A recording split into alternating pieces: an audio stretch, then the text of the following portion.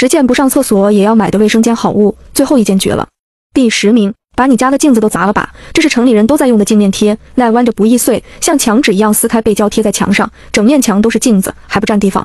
第九名，还是老妈告诉我才知道有这种坐浴盆，只需要往里面倒入温水，坐上面能缓解一天的疲劳。前面有出水孔，即使挪动屁屁，水也不会溢出来。泡完了直接倒掉，挂墙上也不占地方。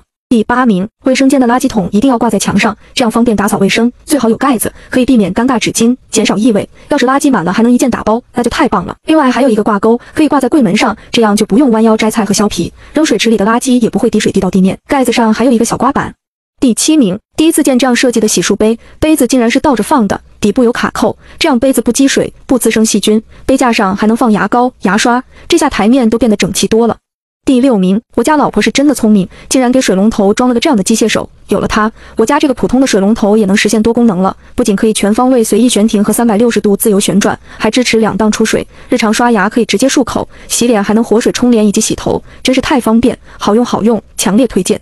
第五名，家里的肥皂一定要分开放置才干净卫生。以前的肥皂盒容易泡水，还占台面空间，这个就挺方便。旋转的设计不占空间，大人小孩的肥皂都能分开放置，自带沥水盒，肥皂不会泡水，用起来干净又卫生。第四名，打死你也不信这是一个马桶刷，自带背胶，可以贴在墙上，不占空间，还不影响打扫卫生。小黄鸭的造型颜值很高，软硅胶的材质可以深入到马桶盖的缝隙，而且还可以潜水，马桶的各种边边角角都能刷得到，用完挂回去干净又卫生。